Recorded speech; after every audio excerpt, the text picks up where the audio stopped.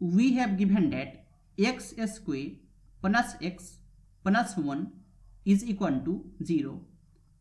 Then we have to find the value of x power 51 plus x power 54 plus x power 57. So we have x square plus x plus 1 is equal to 0 and from here we can say that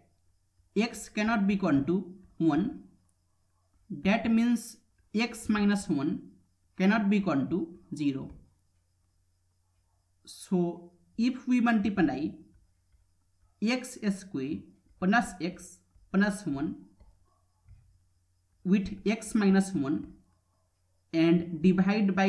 x minus 1 is equal to 0 then a cube minus b cube is equal to a minus b times a square plus ab plus b square. And if a is x cube minus b is 1 cube then it will be x minus 1 times x square plus x times 1 plus 1 square and it is x cube minus 1 cube is 1 is equal to x minus 1 times x square plus x times 1 will be x plus 1 square will be 1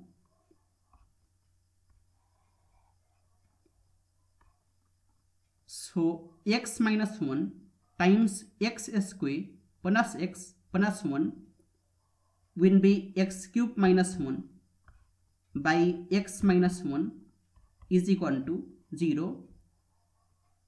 and x cube minus 1 will be 0 times x minus 1 and x cube minus 1 will be 0 times x minus 1 will be 0. So x cube will be 1.